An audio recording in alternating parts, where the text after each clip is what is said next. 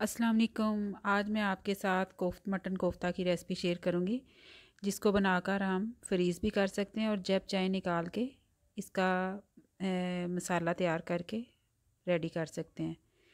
तो आए स्टार्ट करते हैं। बिसमीम इसके लिए मैंने वन के जी मटन लिया है बोनलेस। कीमा भी आप ले सकते हैं। तीन से चार खाने के चम्मच भर के भुने हुए चने का पाउडर। प्याज एक अदद अगर नरगसी कोफ्ते बनाना चाहें तो उसमें आप अंडे यूज़ करेंगे। मैं सिंपल बना रही हूँ।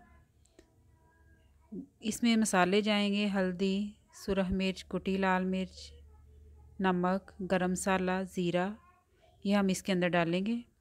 अदरक का टुकड़ा चार पाँच जवे लहसुन के, हरी मिर्चें चार से पाँच अदद।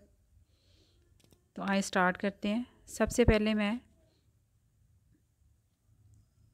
मटन को चापर में डालूँगी और इसका अच्छी तरह कीमा बना के उसके अंदर सारे मसाले जो हैं, चाप करके ये देखें, इस कंडीशन में इसको कर लेंगे कि सब चीज़ें जो है उसमें यकजा हो जाए।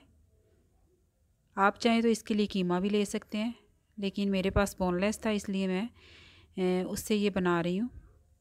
हाथों को ऑयल लगा के हल्का हल्का ऑयल लगा के इस तरह से इसके बाल रेडी कर लें।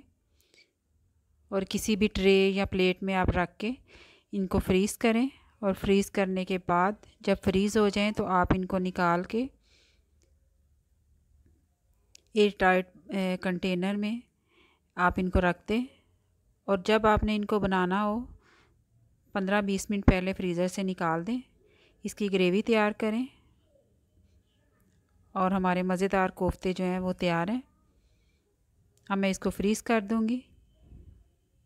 इसको ज़रूर ट्राई करें और मुझे फ़ीडबैक दें। अल्लाह हाफिज़।